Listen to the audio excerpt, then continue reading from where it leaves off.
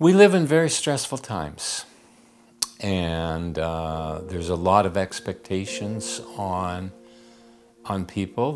We put a lot of expectations on ourselves, and um, we have a culture and society that has set us up in such a way that success is defined by how much money you have, by um, how good looking you are, um, by um, how many contacts and social media that you have. I mean, there are there are quite a few um, aspects to today's society that causes stress and anxiety. Um, and everyone wants to be popular. Everyone wants to be loved. Everyone wants to be successful. Um, a certain amount of anxiety uh, is bound to happen. But if it oversteps its boundaries, if you find that you wake up in the morning and you're anxious, and throughout the day that you feel anxious, and when you go uh, to sleep at night you're feeling anxious, then, then that, that stress and anxiety has overstepped its boundaries and it needs you to step in.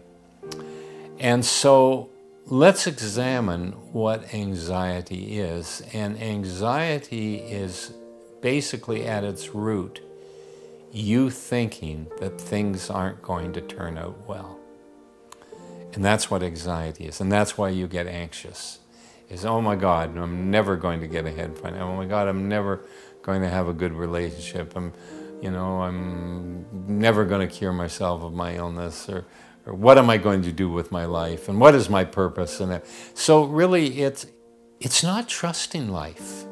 So the the cure to anxiety is to recognize that you're not going to ever have it all figured out. What? I thought you were supposed to have it all figured out. No you will never have it all figured out there will always be uncertainty in your life, uh, and that that's it. That's life. That there is uncertainty, that you don't get to know it all, and that you make decisions in your life much the way an artist does. I mean, an artist guesses. An artist goes, an artist, to be, to be creative, you have to really uh, free yourself to make mistakes, free yourself to, um, to, to go into unknown territory. And it's the same thing with that in life is that take the pressure off. Life doesn't have to be perfect. First of all, it never will be. And you're not perfect, and you never will be. And other people are not perfect. Well, that you know. that you figured out. Uh, and to tr have trust in life, truly have trust in life. And it's a funny thing that when you expect the best out of life, it almost always happens. So if you can take on a, a foundation belief of my life is good, I am good. I trust myself. I trust life. And enjoy yourself. And that's another cure of anxiety is it means you're not having fun. It means you're not enjoying yourself. It means that you're, you're, you're, you're lost and preoccupied in your mind. And, and where is anxiety coming from? It's, it's, it's coming from your mind. And you might say, well, often I don't even know why I'm anxious.